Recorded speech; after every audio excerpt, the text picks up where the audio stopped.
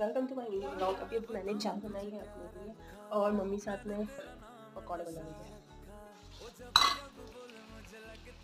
अभी मैं एग्ज़ाम लेके आई और उसके मैंने खाना खाया और मैंने अपने बाबू को बाहर निकाला था। सी कैसे सो रहे हैं? एकदम फैल फैल के सोते हैं मेरे बेड पे। अपने घर पे नहीं सोते ऐसे। फेल फेल के सोते हैं, देखो। सुनो आप क्या कर रहे हो? आप क्या कर रहे हो?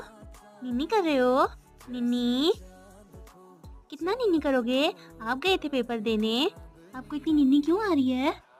ऐसे लगता है कि पेपर देने यही गए थे।